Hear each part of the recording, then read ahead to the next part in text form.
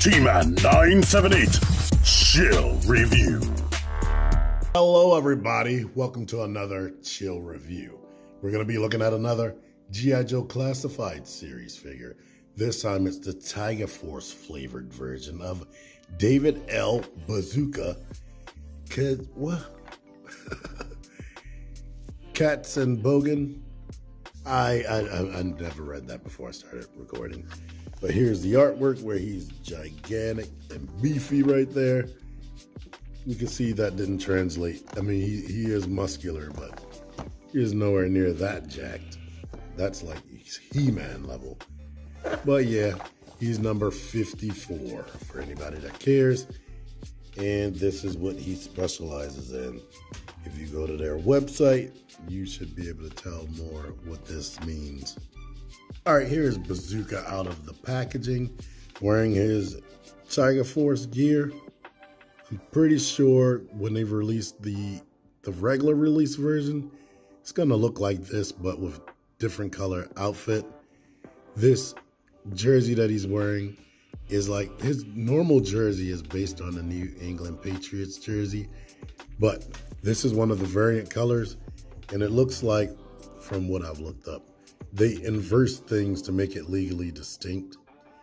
Like instead of having the blue stripes, blue stripe in the middle and the orange on the outside, they, they inverse that.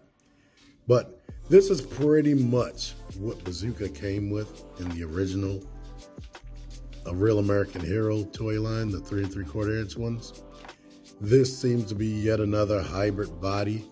I'm not going to search through every freaking body to see who's who, which one is which, but there are pins right there. But they did give him pinless arms. Unfortunately, and I don't know how well it's coming up on the camera, the elbow joint is like a coming off as a different shade, a different color than the rest of his arm, which is unfortunate. I almost wish if that was the case, maybe they probably didn't catch that, that they just gave him elbow pads or whatever. This helmet, let me look at it. It's removable, of course. It's painted with detail, like the straps and whatnot. Yeah, the straps. Before I took it out of the packaging, it kind of looked like it had a weathering effect on it, but looking at it now, I can't see that. But it's brown and the orange, or the, this orangey color, that's what seems to be painted. And while we're talking about it, let's go to his face. His face seems to be more painted than the typical Joe face. Like they all have been using like digital face scans.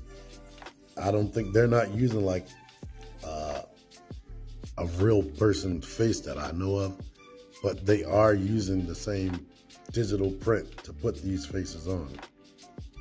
It when you don't have light on it, it doesn't look as glossy as it does, but there's like subtle shading in the face. I don't know if that's coming off well on the camera, but he looks really good. Let's let you see these boots because I believe they are new. I haven't seen these boots before that I can think of. Of course, this jersey is sure the arms are a hybrid of somebody else, maybe Sergeant Slaughter. These wristbands they're sculpted in. These missiles are actually removable. Be careful when you pull it out of the package because mine got kind of warped right there. And this bazooka, a rocket launcher. And but the name bazooka he's kind of like a joke character.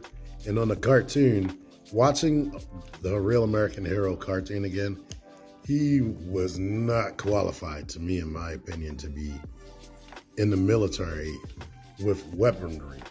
He was clumsy and he was borderline mentally challenged. And I'm like, wow, they got this guy out in public. Supposed to be helping people. But anywho, this is painted dark green. It's padded on both sides. We have this functionality right here. So you could, if you want to, and this isn't it's just pegged in. I think it they tried to put a little ridge on it to keep it in there, but that came right off when I tried to turn it earlier.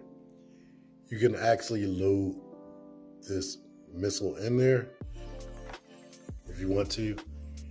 And yeah, I would be careful which one you put in there. If you get any resistance, go to a different missile because this one goes in and falls right out. The first one I tried, dude, it felt like it was getting stuck, and I was like, no, I'm not doing that. But let's make sure you see all the details.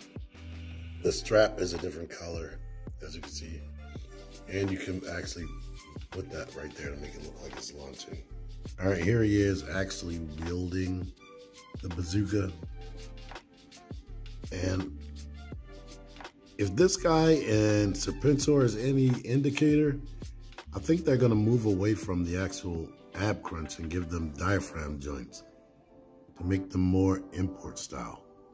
Or make them more like the Valaverse because they have this type of articulation. And speaking of articulation, let's get into that. All right. Now, I, I love to have the neck hinge to have better upward range, but I guess that's good. This is good. You know you have the dumbbell in the top in the head and the ball in the base of the neck. So you can turn left and right and do all the stuff you need to do. This does make it look more seamless. We have this, you see, this is sculpted like that to match up, but it can go back that far and you, you see detail the whole way. It can come forward. As with them making a change of not having an actual ab crunch, as you can see though, it suffers by not having a real ab crunch. But you can tilt side to side. It can still rotate down here. This right here, just like I've been mentioning with all the newer characters, it's completely 100% soft for the most part.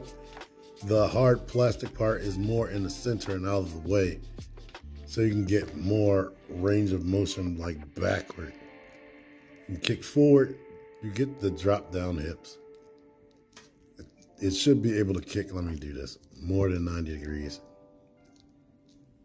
A little bit. Swivel, double jointed knees, boot swivel. I love that always. This, that, ankle pivot,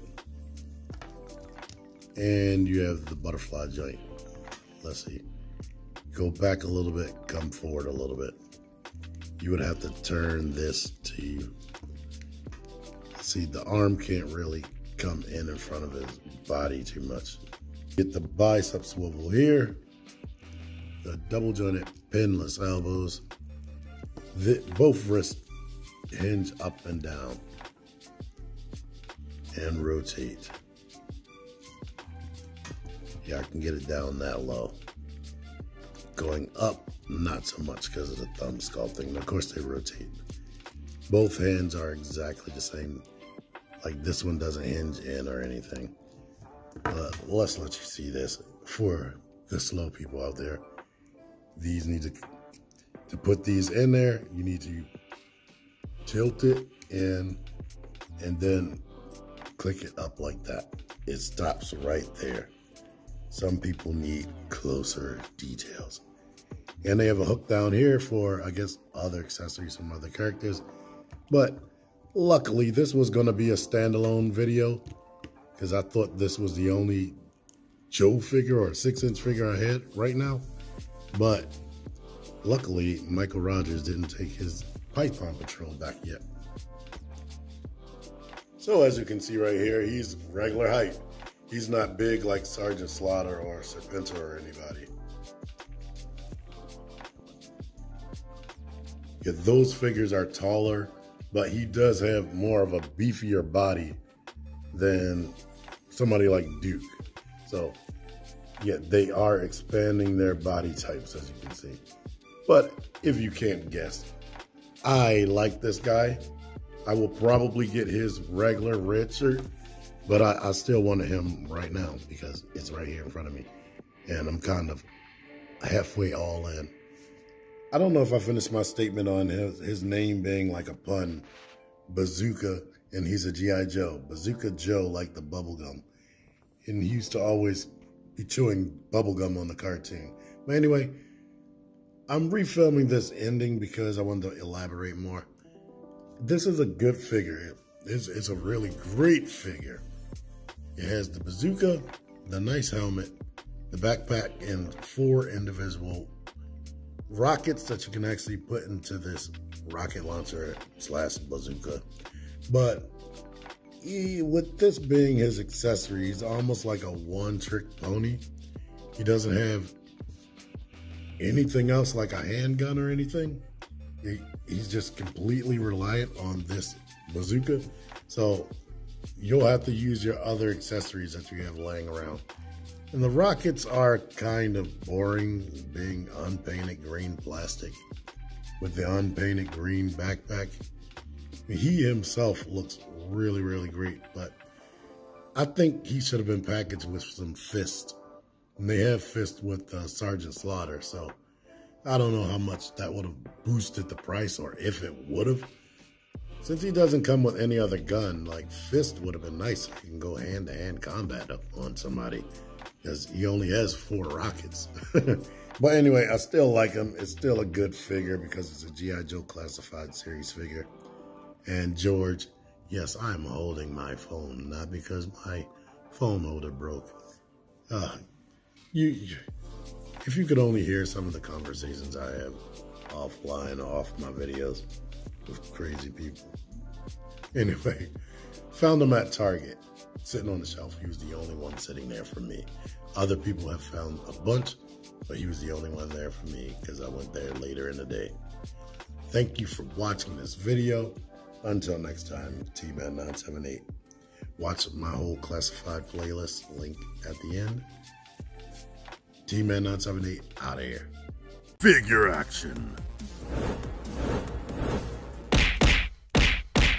That one's me. Join the Syndicate Toy Hunters Facebook group. Link in the description. Click, click the videos. Click the videos, baby. Click, click the videos. You should really click these videos. Click, click the videos. Click videos, baby. Click, click the videos. You really should click those videos. Click the shit.